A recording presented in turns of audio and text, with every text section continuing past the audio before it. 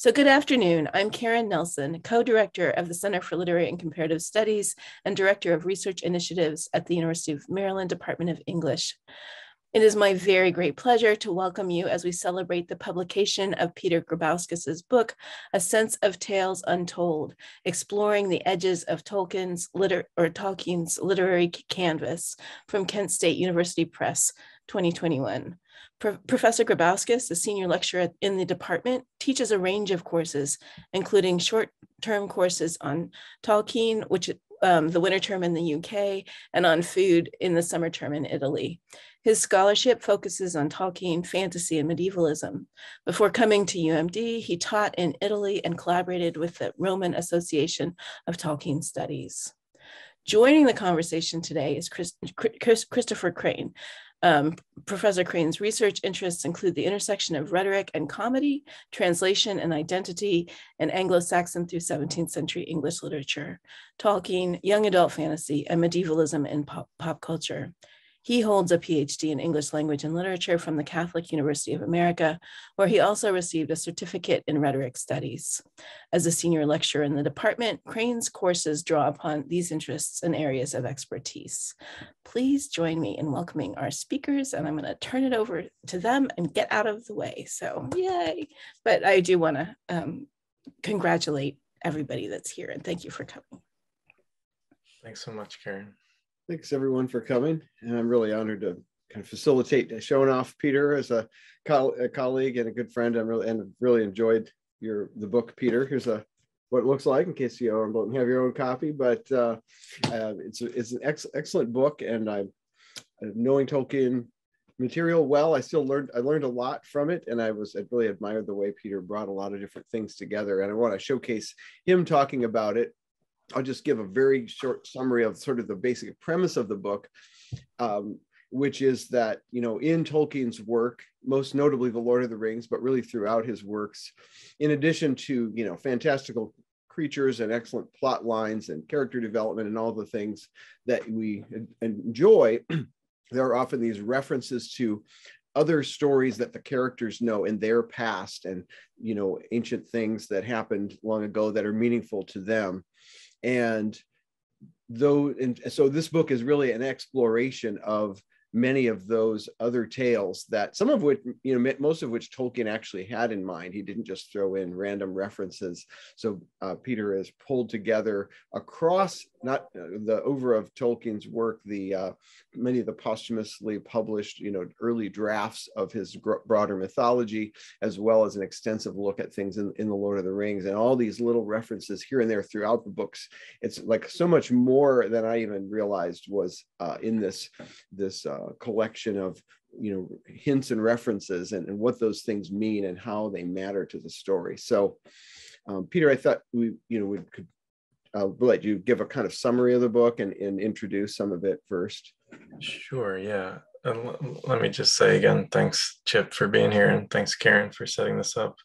Um, i had completely misunderstood the purpose of the book launch at first. I was halfway through preparing a a sort of product demo to show you how this baby can get out even the toughest of stains. But uh, but Chip and Karen were kind enough to correct me, and so we're going to go with more of a uh, an edgy sort of Q and A. Um, uh, no, but as a kid, I mean, I'd fantasized about my first book launch and hearing those iconic words of "You're muted."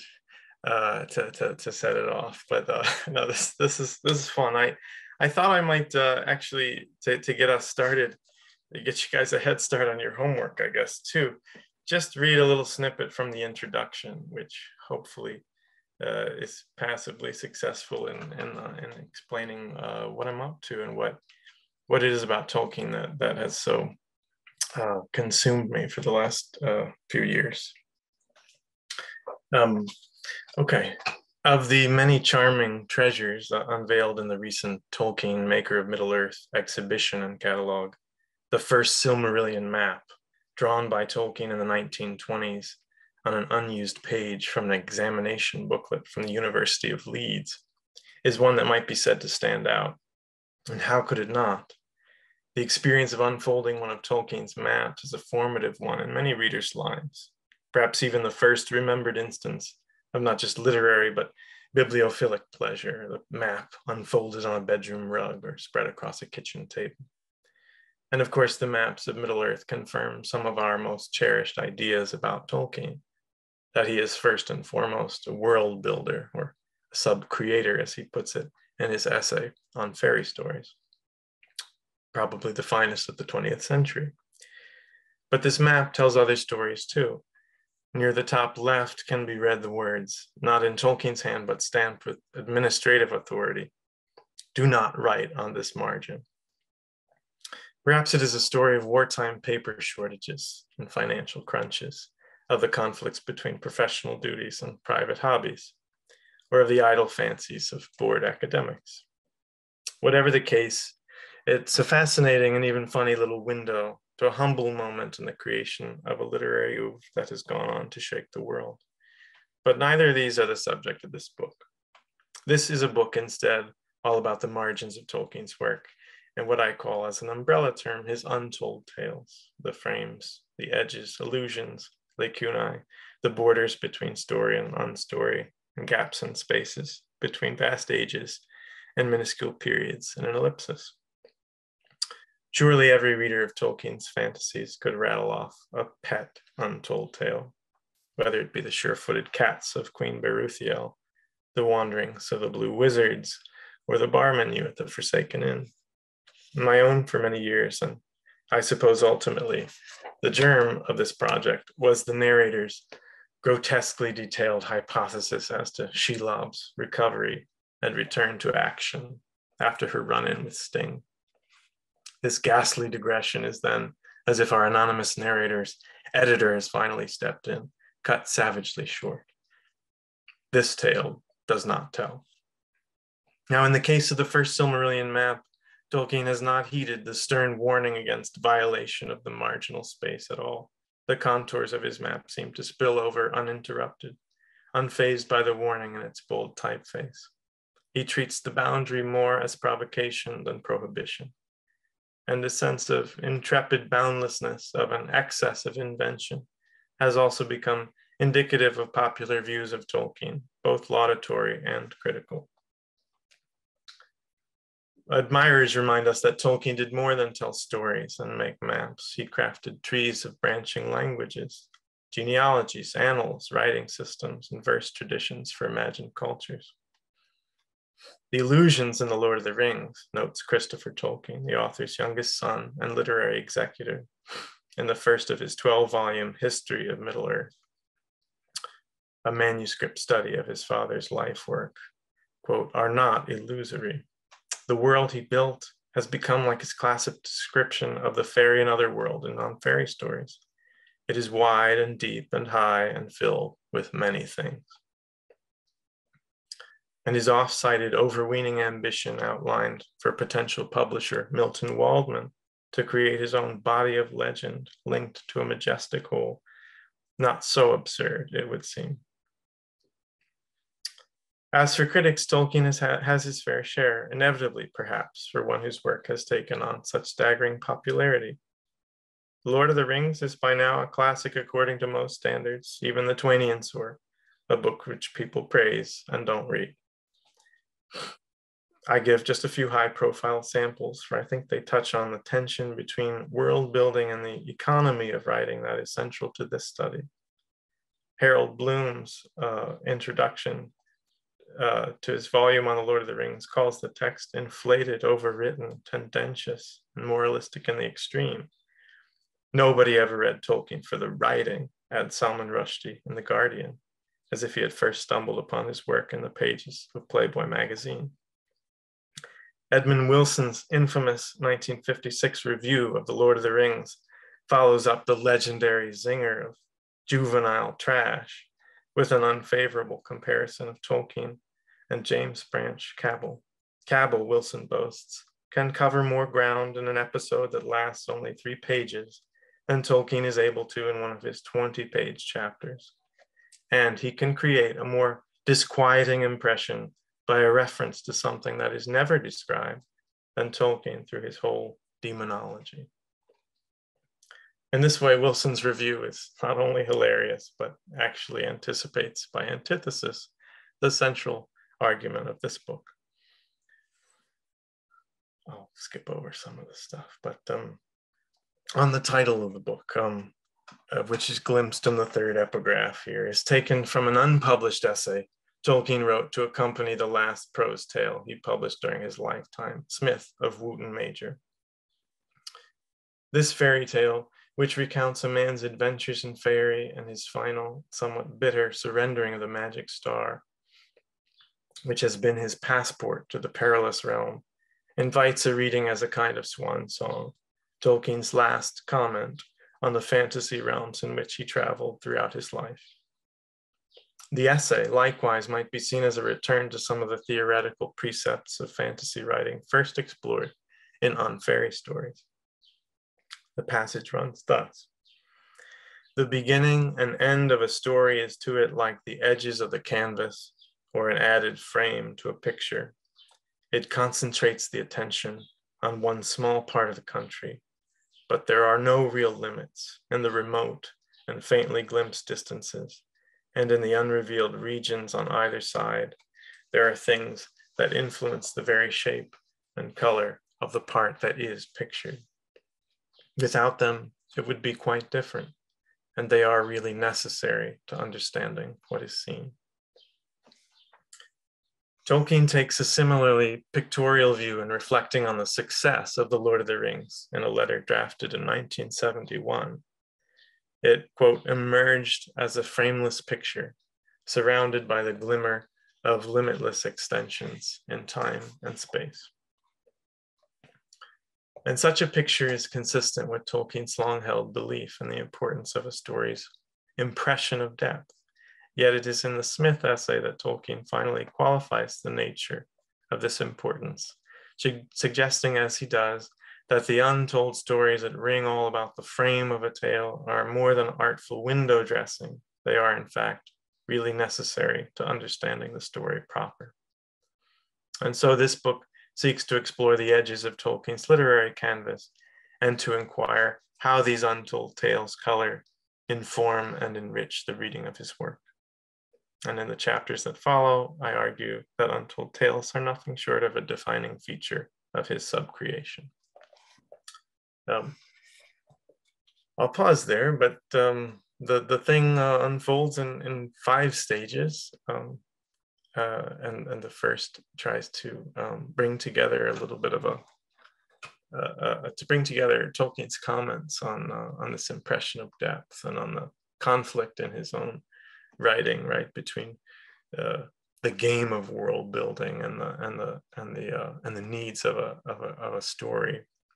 Um, and in plumbing some of his uh, scholarly work as a medievalist, particularly his commentary on Beowulf and his interest in the poet's technique there, and in the um, um, and in the curious sort of aesthetic effects of of these works that are um, that are to us now that have gone dark. Many of the references and allusions there, whether because of damage to manuscripts or or, or, or whatever else, uh, including the poet's technique itself. Um, uh, we, we no longer have access to these stories that are that are hinted at. Uh, and then the, the heart of the book is uh, is is three three readings of of three kind of key texts. Um, the, the, second chapter explores the Lord of the Rings, and um, but but from but focuses on on the last alliance, on actually this sort of black hole of the second age of, of Middle Earth, um, and the way that Tolkien um, uh, develops that and draws on that, um, even as he uh, fails to sort of reveal it or explore it more fully, how that impacts uh, the story of the War of the Ring. Um, and the third chapter looks at a particular figure in, in the elder days, Turin Turambar, and what must be Tolkien's most told story of all. It kind of revisits a, um, a, a, debate in print between Christopher Tolkien and, and Tom Shippey um, about some of the difficulties of, of um, of publishing and of reading of enjoying uh, the Silmarillion material uh, after we've we've we've whet our appetites on the Lord of the Rings. Um, Uh, and the fourth kind of returns to Tolkien's uh, professional life um, in a perhaps a little read text called The Homecoming of Beorhtnoth, um, and looks at the idea of a mission there. Um, uh, and, and, the last chapter then looks to Tolkien's influence um, on, on fantasy and on sort of multimedia empires of today and how Untold Tales uh, uh, maybe play into some of that, um, our current obsessions with uh, Game of Thrones and Amazon shows and, and video game uh, franchises and such. And that's the book in a nutshell. A great, uh, great overview, and hopefully everybody uh, got a little taste of your what I find your very engaging and, and lucid prose. Uh, i really enjoyed that aspect of the book as well as the ideas in it. So, and as you mentioned, Tolkien was well aware of the the this issue of these fringe tales, these untold tales, and it's been looked at and commented by others. How did you come to do a full a book length project on this? You know, tell us a little bit about your process and where this started and how you got here. Yeah, um, hum- humble beginnings. Uh, um, it, it um, well, I, I, guess you could say it started sort of having a laugh about Shelob with friends in, in high school and sort of just luxuriating in some of those backwaters and strange like broken hyperlinks uh, that we find in Tolkien's work. Uh, but but I guess I first got a little bit serious about it um, as an undergrad student at Maryland, uh, uh stumbling my way into Verlyn Flieger's course and and sheepishly asking if she'd help me uh, write a um, an undergrad thesis for the honors program. Um, and uh, and it was Verlyn um, who gets a lot of credit, but probably deserves uh, a little bit more. Um, uh, who I think first pointed me to the sort of famous letter uh, that Tolkien wrote to to Christopher to his son in the mid 40s, right, uh, sending drafts of of the Lord of the Rings as a work in progress, while Christopher was um, in South Africa uh, doing some RAF training, right. Um, and, uh, where, where Tolkien sort of outlines this this fundamental literary dilemma, right? The story must be told, or there'll be no story. But it's the untold stories that are that are most moving. So, so that uh, that's that's where it started, and and um, why, gee, and you got to wonder, like, it's 17 years between uh, the Hobbit and Lord of the Rings, what was Tolkien up to? You know, I, I cranked this baby out in what, 10, 12? No problem. Um, no, but it's it's been uh, it's been a long time coming, and and you know, this this the publication has been yeah it's it's a muted celebration, let's say, but uh, but it has been fun to to reminisce a, a little bit, reflect on some of the places and the people, right, who who helped me uh, put it together you know, really over quite a few years. So, and uh, and you know to hit up distinguished alumni for for money too. um, uh, but yeah, the some of these pieces I realized that I would never ever finish a book if I if I didn't uh, develop some kind of discipline or, or method. Uh, so I uh, a few years back decided to stop producing wholly unrelated conference papers and side projects and start to like uh, tackle this a little piece at a time. Um, so certainly, yeah, I mean, Chip, you've, you've been witness to some of these pieces, you know, parts of the Turin chapter were scribbled uh, uh, on break from our, uh, from our class uh, in Oxford in the winter term. And, um, you know, sections, uh, I, I, can remember delivering a piece of this project on the Last Alliance um, to the PCA conference in Chicago quite a few years ago now too. Um, and some of the pieces, uh, you know, maybe didn't didn't seem like they belonged at first, um, and that was maybe one of the surprising pleasures of of this long and kind of painful but neat process. Yeah, great. Thank you. Yeah, the one of the things you point out in the in the early part of the book is in in Tolkien's own letter. You know, he was concerned, as he put it, and, and you quote, uh, "To to go there is to destroy the magic." Meaning, if you know, if you were actually going to tell all of these hinted at tales, it would make them less alluring. It's it's the fact that they're not told, um, and that was a concern he had. And you talk about it as a fundamental literary dilemma, you know, and the romance of distance. I think that's a nice phrase you use. Um, and that is a major thread is exploring that with these uh, these tales. Can you talk a little more about why the why the magic is or isn't destroyed in some of these different tales? You know, how does that work? And uh, when you know, or when does it kind of ruin it if you actually hear the whole tale or or not? Yeah, um, yeah, yeah. It's a great it's a great question, and that that line from Tolkien's letters, you know, comes in the this uh, in this really frustrating period, I guess, in which Tolkien has finally found an audience uh, that wants the Silmarillion, right? After after all those years, um, but um, but he's finding it difficult, or you know, ultimately kind of impossible to to figure out how to present that uh, so that it's not sort of contradictory to the things that he's published um, in, in, the interim, and, and and because he's he's kind of an old man with a lot of boxes of of mixed up manuscripts uh, to sort through. Um, and, but again, and again, this this kind of comes up in a debate. I think in the in the late '80s between uh, um, Christopher Tolkien and Tom Shippey. But um, but uh, and I honestly think that that Shippey maybe concedes the point too quickly, right? That is, it's not as if Tolkien thought despaired of the the value of these stories of the elder days, right? What we call the Silmarillion material, uh, but but certainly finding a way to present them, and and finding a way perhaps to to to capture recapture some of that lightning in a bottle that he had with the Lord of the Rings uh, was was a conundrum. Um, so uh, you know when when when we have when we do this program in oxford and one of the the sort of our starting point our question is what we want to figure out right is how how on earth did something like the lord of the rings come to be right? And uh housed as it is in the professional writing it's it's quite funny to think about the sort of practical advice that you might receive from from from reading tolkien or think of tolkien as a writer like start you know by inventing a series of languages and then spend 50 years you know developing mythology.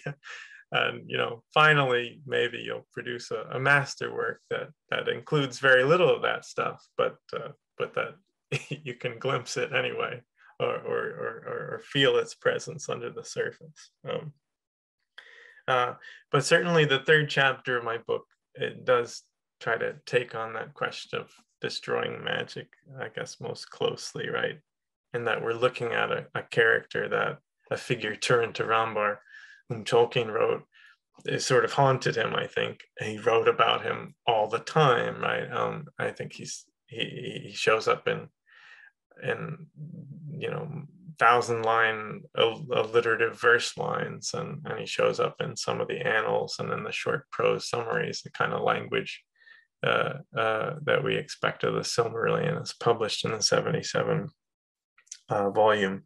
And in, in a longer prose, right, which which really was the story that Tolkien turned to after he completed the Lord of the Rings.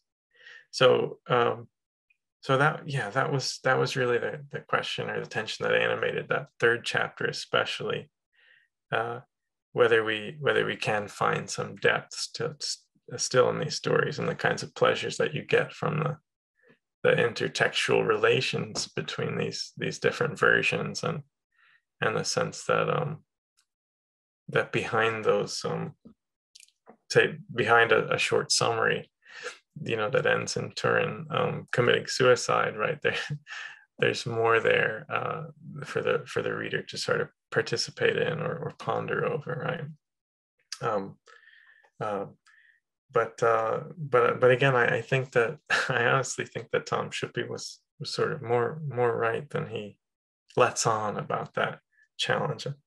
A lot of people have wondered, you know, why uh, uh, why the Silmarillion is um, such a difficult read, I guess, for some readers, or, or so disappointing to those who are coming from the Lord of the Rings. And um, and you can talk about the the absence of hobbits and such. But uh, but I do think um, I do think that that sense of depth is captured really uniquely uh, uh, in, in Lord of the Rings, and that's not something that Tolkien could really replicate that easily. Great, thank you. Um, strikes me that you know some of some of the aspects of these untold tales, these hints of older legends and things, are adding to the fantasy. But then, and I think you point this out in the book, uh, Tolkien thought of them some somewhat as just his sort of historic, kind of historical realism. Uh, are those two opposed, or how do those two things work together, or what do you think is more one than the other in in some of the examples and things? Yeah, um, yeah. Well, he he notes, I think, of Tom Bombadil at some point that like, it's a, in a letter to a reader, you know, just as it, you know, in the real world, we don't really have an explanation for everything, right? Um, that that in some ways those missing pieces um, actually contribute to this sense of whatever verisimilitude or or the the believability, the historicity of this of this um, invented world. Certainly, I mean, I, you know, Tolkien wanted us to, um, you know, he he describes this process of recovery, right? This this benefit of fairy stories as a chance to clean our windows, right, or clean, clean our glasses uh, and uh, and see the world in in stunning 4K, right? Um, so I think that I think that that that that's part of it too, right? That a, a reminder that it's something that we need sometimes. Um, we feel like our uh, perhaps our science has has robbed us entirely of of mystery and and magic, right? And yet, uh, and yet, our world, uh, the people in it, and the and and and the things in it too, are uh, can be quite spectacular, uh, quite enchanting. Um, uh, if you if you can take take a moment to to clean your windows. Um, so yeah, I I do, and I will say that some of the in some of the parts of the book, I kind of I guess I'm I'm primarily concerned with Tolkien's technique, right, and his intention, right. But uh, but of course, with so much of his work sort of posthumously published, right, um, and in thinking too about some of his sources and his interest in, you know, the the difference, say, between a, a someone uh, listening into Beowulf in the mead hall, right, a thousand years ago, and someone um, 1500 years ago and someone uh, uh, reading it today right that that that sense of distance that we have as as modern readers right that some of the sort of accidental um, uh, effects uh, aesthetic and literary that that these these damaged crumbling broken moldy burnt texts have on us. Um, so there's also a kind of uh, i suppose accidental irony or, or charm to uh, the messy state, say, uh, of Tolkien's mythology, right?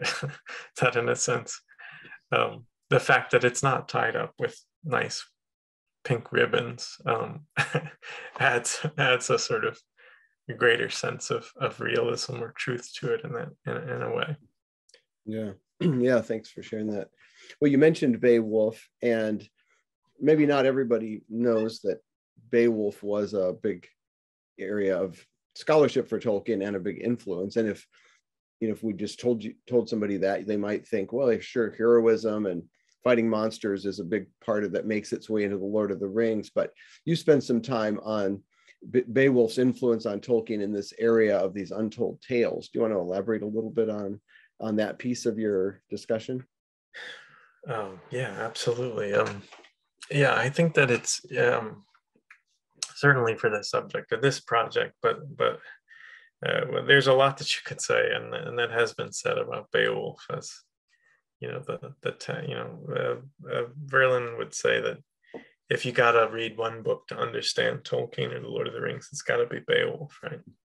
Um, and I think that's that's true in, in large part, and in, in this case, it it really comes down to uh, yeah, Tolkien's sort of ear for keen interest in in the poets right that that technique that sense of craftsmanship right he says of the he says of the poem in, in the famous lecture the monsters and the critics that Beowulf is more like masonry than music, right? Um, okay, and of course that's where he gives us this great image of the the tower, right, with the uh, sublime view of the sea that we don't get when we when we um, obsess over sort of historically dating Hygelac or, or or trying to understand about some some obscure ritual practice, right? Um, uh, but but yeah, I think this comes through honestly most clearly. And people have been writing about Beowulf's influence on Tolkien for 50 years almost, but um, but I think it comes through maybe most clearly, and that's something that I was I had fun trying to do in the first chapter of the book. In the fairly recent publication, I think 2014, uh, of Tolkien's translation uh, and his commentary uh, on the poem, um, which is really hundreds of pages of like uh, just glorious discussion of, of yeah that poetic technique and uh, Tolkien's sort of fascination with the that digressive method that that the poet had and that um, and and uh, always a sense that that there was artistry behind it right? Uh, some of course some earlier scholars felt that beowulf was confusing and messy right? Because it was sort of like a bunch of different pagan tales stapled together right? By a by a few monks in the scriptorium. But tolkien really uh, really had this vivid image of a of a poet with a real plan, right? With a real artistic touch. Okay. Um, and so I, I do think you can see a lot of a lot of his thinking on the shape and the way that the poet makes use of allusions to feuds and and and and, and, and dragon slayers and, and and ancient history, right? Much of which is is completely dark to us now. Um, it was something that he was he was keen to sort of incorporate into his own vision, right? That um, that image uh, uh, from the introduction, right, of the the frameless picture, right, and the, the extensions on each side, right.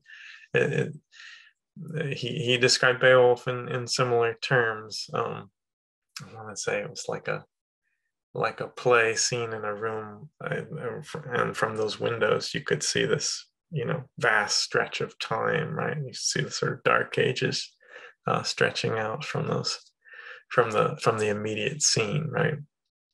Um, so yeah i think that um, i think that that of course tolkien was interested in the fantasy elements there right?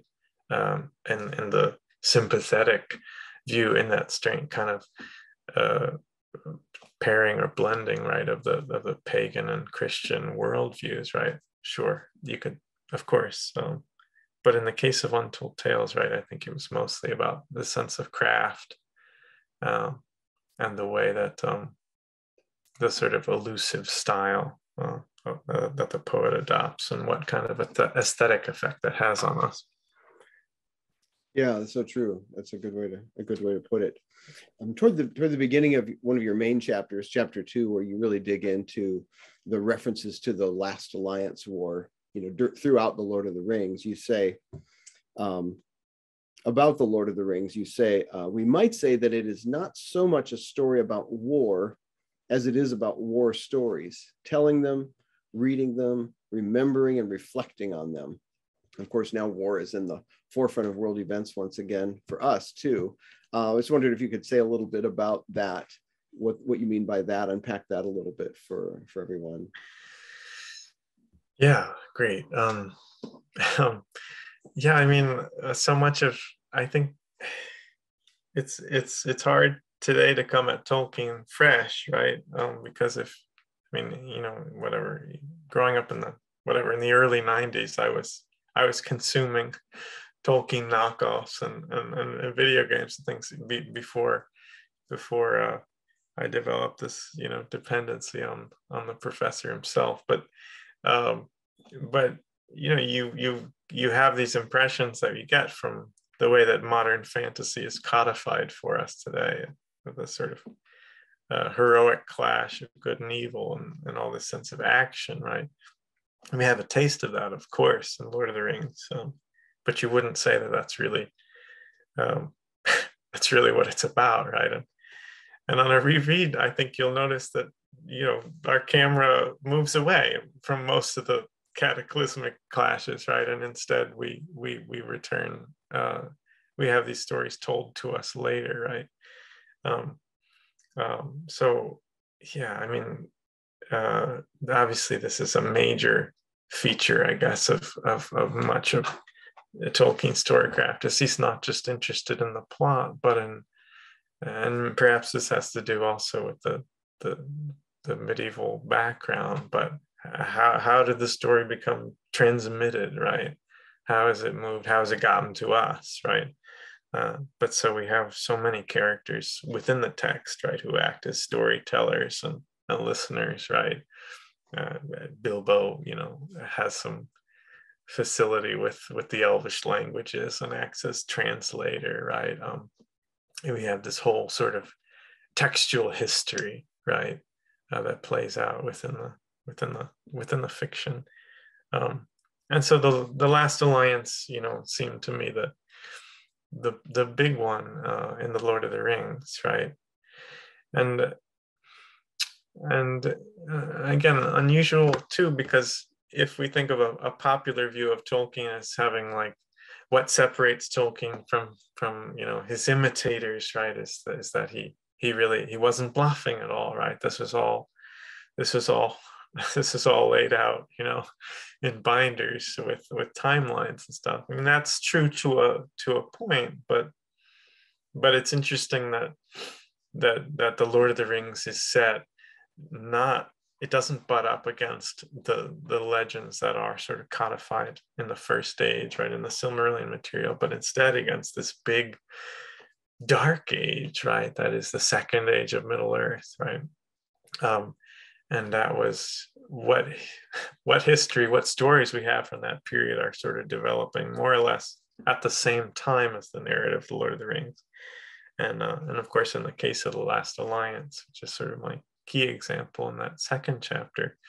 Um, we get enough to go on right to get an idea but, it, it's never a it's never a tale uh, told i think in any sort of straight or satisfactory way right? And we see that that has real implications again for the immediate action right for our characters. I mean i guess most notably um, uh, gollum um, in the chapter i kind of look at him as a as a focal point for as a, an odd sort of lore master right uh, who who keeps these stories that we don't quite understand alive, right? Based on the oral traditions that he grew up with, and on all his sort of years of snooping, and and of course being quite quite obsessed with the ring and with Sauron even uh, humorously as his his chief rival, right? Um, so I I kind of read it's I read uh, the the the climax there in Mount Doom as a sort of reenactment, I guess, uh, perhaps inspired a little bit by by Gollum's um, by Gollum's personal canon, right? His his vision of of this uh, of this battle, you know, 3,000 years prior and the last alliance and how that sort of shaped the geopolitics of the third age, even though we don't really get to see it on screen at all.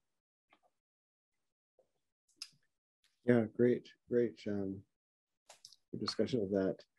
Um, well, and, and in terms of, you know, influence before Tolkien and and and throughout and and then after uh, as you mentioned in your opening summary your final chapter looks at literary and pop culture descendants of tolkien things influenced by him. Film adaptations you look at video games and the fantasy genre in general. And of course uh, as with beowulf uh, it's easy to see you know magic elves monster battles and the like are more more popular thanks to tolkien's influence. But um, how have you how have the untold tales of Tolkien that that that element of his stories influenced these other writers and other forms of storytelling in pop culture now? Yeah, yeah, it's a great question. Um, I think um, uh, I mean, I mean, I feel like this this this tension is maybe felt more strongly than ever as world building has become like the the dominant mode, right? And the way to uh, sustain a successful franchise, right? You know, the the need for the sort of insatiable need for content, right? Certainly pressures the storyteller, right, to uh, who you maybe had a, a charming little digression or a, a, mysterious figure on the on the periphery, right? A, a Boba Fett, if you will, right? Who, well, he's going to need his own series, right? And not just a series, but a series of bobbleheads and lunchboxes and things like that, right? Um, merchandising, um, and of course, uh, you know that's that's that's where we're going with um, with the Amazon uh, show too. Though I mean, I'll say that um, when the early rumors about that show were for uh, uh this is going to be the the the Aragorn the the Strider prequel, right? It'll be about his period of of errantry, right? Um, uh, you know that too, of course, is is one of those great things that's that's hinted at in Tolkien's text, but not explored in any in any depth. Um, but I think it was, I thought it was a good decision to to set things in the Second Age and to um, and to you know basically create some fan fiction in this this playground, right, in which Tolkien has sketched out a few really important set pieces, right? Um, but that really is kind of open, right? Not not a not a cherished um, a site, I guess, for the for the toxic fandom, right? Um, uh, you, won't hear me griping as much about how they ruined Denethor or Faramir, right? Um, uh, we, you know, we, we don't we don't care about the the the kings of Numenor quite so much, right? Um, so so yeah, I think that I I think that it it is it is certainly a, a concern today. I think you know I, I, talk a little bit. I wish I were better read in these in these things too, but I, I talked a little bit in the fifth chapter about like my experience of reading George Martin's ongoing Song of Ice and Fire, right, and how that seems to be seems to catch that bug of like world building for world building's sake and but it seems to like lose the thread if there ever was one right of like where where is this story going right? Um, um yeah, so i think that tension is very much alive and of course uh of course we could say that the hobbit films maybe show us some of the worst uh, the most dire kind of you know these this slight and slender and charming, you know, prelude to the Lord of the Rings, you know, is is pumped full of, um, you know, Perdue chicken and uh, into a three volume beast, right? But but but all those great little allusions to, yeah, what was the White Council up to, and wow, what's Dol Guldur like, right? Um, we find it. It's New Zealand. it's the Weta Workshop again. Um, you know, I, I, I do. but for me, anyway, personally, that that was a that was a nice indicator uh, that um, to go there is in fact to destroy the magic.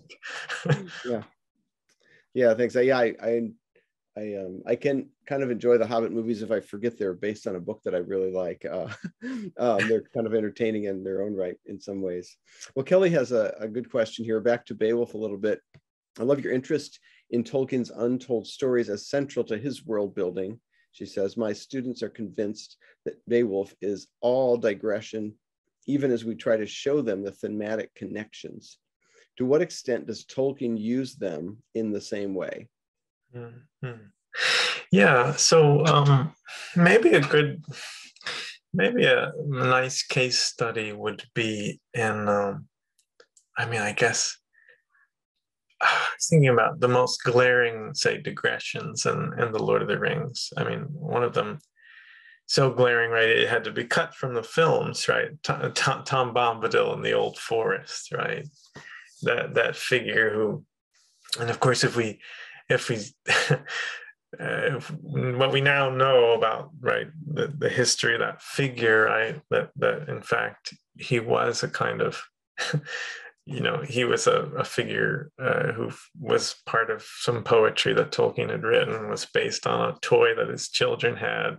Uh, you know, like tom bombadil really didn't belong right? He really wasn't part of a, a sort of vision that tolkien had um, from the outset right and yet um, that excursion right uh, in, in the old forest that that that opportunity to meet with this this figure right who, who doesn't fit and who does these strange tricks with the ring right? I mean i think it adds tremendously to, to giving us that sense of yes what the ring is and what its powers are and what its limitations are and how our sort of uh, our, our, our characters are going to struggle with that because they're not going to function in the way that Bombadil does. Um, uh, um, but but yeah, cert- I mean, certainly, I think what happens in the Lord of the Rings is that um, those. I mean, I suppose you could treat even the whole the whole heroic thread um, that is, you know, almost half of the text as a kind of digression, as a sort of like um, in the background, right? There's this great war um, and this great sort of uh, political play of wizards and stewards and and exiled kings, right? But the heart of the story remains, right? This sort of very personal quest that's on the ground, um, and the hobbits, and in this this this impossible um, journey um, to get rid of the the artifact, right? Yeah. Hmm. Yeah, thanks. Um, Scott asked a question. Um, was there any apprehension on your part about writing about stories of Tolkien's that are unfamiliar even to the well-read Tolkien fan? How much of your decision to integrate a discussion of the Last Alliance was an effort to facilitate a long-running connection with an already existing audience? Hmm. Question.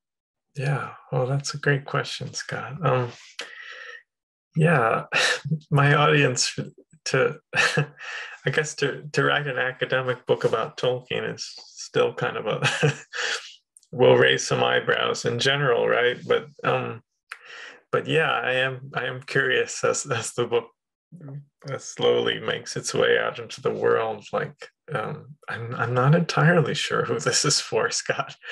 I'd like to earn the the adulation of my, you know, 15 Tolkienists or maybe just their scorn. I don't know, but but but maybe better still would be yeah the the reader the real reader the the real person uh, who who's perhaps interested in Tolkien or or or, or read Tolkien 30 years ago and would like to have another look so um yeah i mean i think that yeah that second chapter i suppose is the most accessible in that sense, right? And that, that it's hard to believe that anyone would be reading it who hadn't read The Lord of the Rings. So, but some of the other stuff certainly wanders off more into the the curious again by waters. So, um, Turin maybe will be familiar at least to readers of the Silmarillion, but much of the discussion really is is about those variants that that show up in the history of Middle Earth and such and the homecoming let's face it has to be the least the least read text um, by tolkien ever but it's amazing and uh, and if if the book succeeds in any way I, I i i i hope that that it'll send people back to the text or send people to a place that they haven't been before uh, um, uh, it um, i don't know i it, it luxuriates in in some of my favorite um, obscurities. Uh, and uh, I don't know. I hope it'll do something for you. Great. Justin commented that you're uh, you're rising in the ranks there on Amazon. That's great. yes, um, yes. My revival tent is coming in 2023. yeah. Um, other question Q and A. Um, more other questions. You unmute if you want to just talk, or in the chat. Anybody from anyone? Yeah, please. Uh, questions so far. Yeah, if you're really out there, I'd love to to see you or hear hear from you. Um, Oh yeah, how you were going to mention how people could buy the book. Yeah, yeah. If you if you're interested, if you haven't picked up your copy, you know, uh, uh, I, I, write me an email, and uh, I've got some some copies available at discount. I'd be happy to to inscribe for you. Um, mm-hmm. Yeah, Rebecca. Yeah, I have a question. Um, thank you so much so far. Everything's been really interesting. And um, Chip, you asked a lot of questions I kind of had myself. But one thing I've been thinking about, Peter, is um, this quality you describe in Tolkien's writing. And I haven't finished the book. I'm partway through it, and it's awesome. But um, but I'm wondering if we see this in other um, other examples of literary genres or other writers who do something similar in a very different way, right? Like my first thought, and it's been a while since I've been in English classes, but my first thought was something like Shakespeare, where, uh, you know, because of the uh, nature of the drama, a lot of the really interesting stuff happens off stage, right? And um, to me, that is something I love about Shakespeare, and I love that about Tolkien as well. And I wonder if um, you've had any time to think about other writers that do this in, in a way that enhances their literary um, appeal. Yeah, yeah, it's a great point. Yeah, I wondered if, um, oh, I mean, for some, for whatever reason, I suppose world building is often associated primarily with you know, fantasy or science fiction or something, and yet in a certain sense, right? Any any writer is a world builder, right? Um, even if that world is New York in the 1950s, right? I, I suppose we expect more. there's more effort or more work needs to go into it to to articulate a, a, a fantastic place, right? Because we don't have that sort of shared New York in the 50s. We're all okay. We can get there. You don't need to you don't need to do as much as much work. Um, but um, yeah, it's a great point about about Shakespeare and and sort of, I guess just the the dramatic form, right? Um, what's that? Um, pursued by bears and all that, right? Um, uh, I guess in, in the book, and maybe haven't gotten that far back, oh, geez. But uh, but I, I, one one writer that I do consider is actually Hemingway. Um, um, uh, less so in, in interest in his in his stories themselves, but about the way he articulates his iceberg theory in the way I think that can be a really useful way to think about some of that um, intertextual stuff that happens in, in Tolkien, right? Um, uh, yeah, yeah, and certainly, I guess the the the shock value of Hemingway is is nice, and that, that you, on the surface of things, of course, you couldn't think of a two writers more distant in goals or politics or skills as big game hunters and things like that. yeah, Emily uh, shares in the chat. There's the we do have a copy in the library at, at uh, Whoa. Our, but only one of you can check it out at a yeah. time. So please, Great. you know, right? Great. Other other questions while people are thinking or typing, I'll I'll ask you um, do you have a favorite untold tale of the of the many different snippets and and bits and pieces after kind of steeping yourselves in the in in these and thinking deeply about them? Do you have a favorite? Oh, gee, yeah. I don't know if I could pick just one. I mean, um,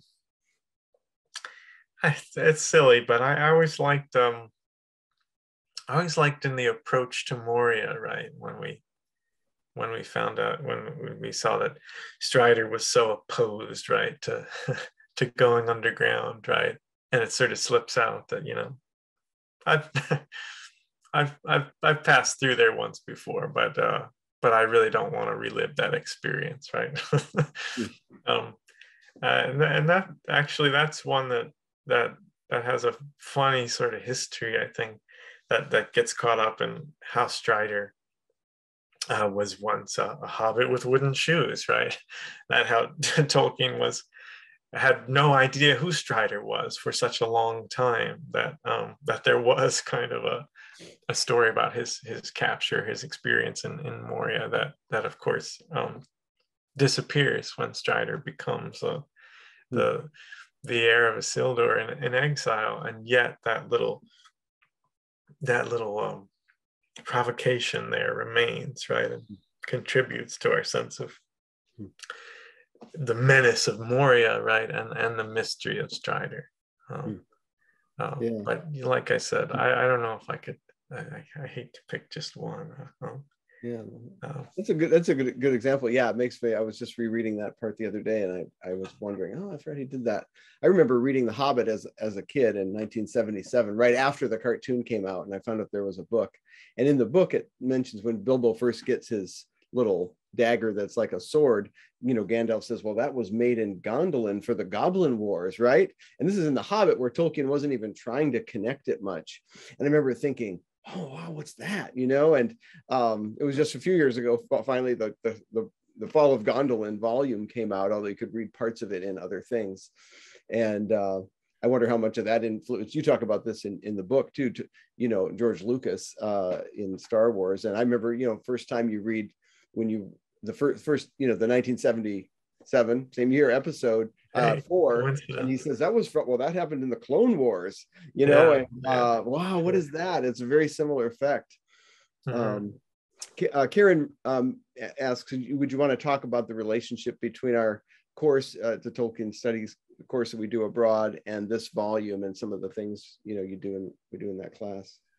Yeah, um, great. Well, yeah. Um, well, you know, the the the the the process of writing the book and the subject, right? This this this sort of iceberg, I guess, of Tolkien's uh, uh, work have gotten me thinking about writing process and and do have me thinking of uh, like how to how to teach that. You know, a lot of the writing students in the writing courses are are at times reluctant to uh, to start over or scrap something, right, or omit something, right. Um, and so that it's been fun to think about, like um, how that kind of the work that goes into it, right. Um, it's so much, right? The, the the so much is submerged, right, and that so much of writing is not like um, not the physical capability to clack out, you know, five pages double spaced, but all the thinking and all the drafting and all the and all the pain and suffering and reading that goes in underneath it that really informs it, that gives it substance, right? Hmm. Uh, um, uh, and uh, and some of the research that I was able to do in the archives at the Bodleian Library were, uh, you know, connected to our, our, our travel course in the winter. Hmm uh, looking at the um, the homecoming manuscripts, especially. Hmm. Um, That's right. Um, yeah. So if anybody still needs professional writing credits, um, uh, well, we are offering a, um, the online version of that later in the summer if you any students or no students, and then yeah. hoping to revive it uh, with study abroad in next winter. So yes, yes, it's been too long. Any so actually, add, oh, go ahead, Justin. Yeah, I wanted to add on to that because I actually helped um, Chip and Peter with the course this past spring. I think that that that idea of untold stories is also something that students really latch onto and they don't entirely realize that they're latching onto it. So i found in a lot of the commentaries providing on people's drafts it was like there's a story here right? Like and i, I would start paraphrasing peter um, to some extent in my comments talking about like untold stories and histories that are in the background. Um, and as someone who theoretically when I can writes fiction, um, it's something that I, I, think about a lot too. Is is sort of omission as as presence, right? So when you we're talking about authors work in the same vein, I actually thought of Kafka, and I was thinking about like if in the penal colony was written now, we'd get 45 pages about how the torture device was built, right?